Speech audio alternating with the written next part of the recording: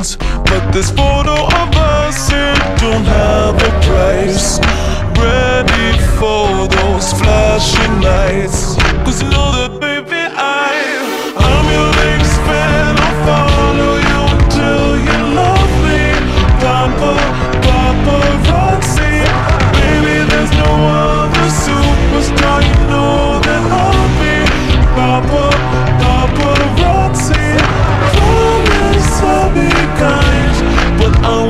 up until